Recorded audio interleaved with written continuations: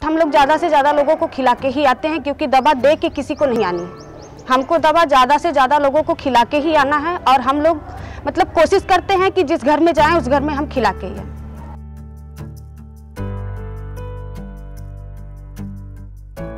Filaria, यानी हाथी पाँव, इस बीमारी से सभी को यद्यपि खतरा है,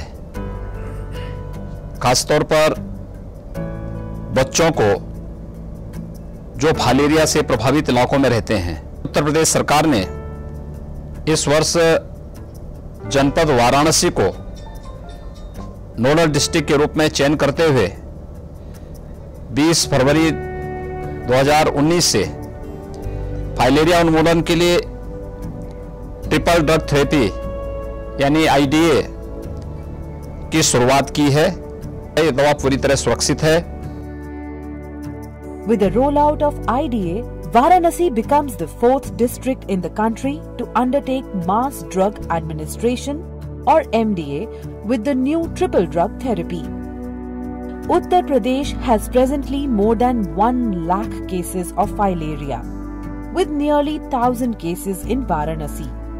In the present mass drug administration round, nearly 36 lakh eligible population will be administered IDA medicines.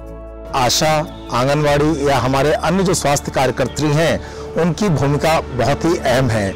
यदि हम लोगों को ये सही रूप से समझा पाए हाथी पाँव के बारे में। वर्ष में जो एक बार सरकार द्वारा इस दवा का सेवन कराया जाता है वह अनिवार्य है और यदि वह इसका सेवन करेंगे तो इस बीमारी से हमेशा के लिए मुक्त रह सकेंगे। Ashas or ANMs and health workers play a critical role in raising awareness about these medicines and ensuring that every member in the community consumes these medicines.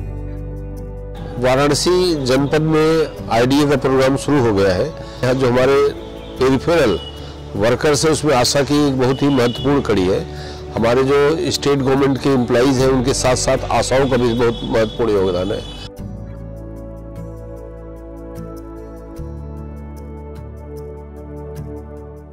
Participation of elected representatives and community leaders in the MDA programs can encourage families to come forward and have the medicine to protect them from the disease. जो यह योजना है, वह निश्चित रूप में गाँव में जो शुरुआत किया है, और हम लोग गाँव गाँव घूम करके देख भी रहे हैं, हमारी आशा बहुएँ और जो टीम लगी हुई है गाँव में घूम करके सारे लोगों को जो दवा खिलाया जा रहा है, यह निश्चित रूप में बहुत ही लाभकारी है, और यह देश के लिए बहुत ही आवश्यक था।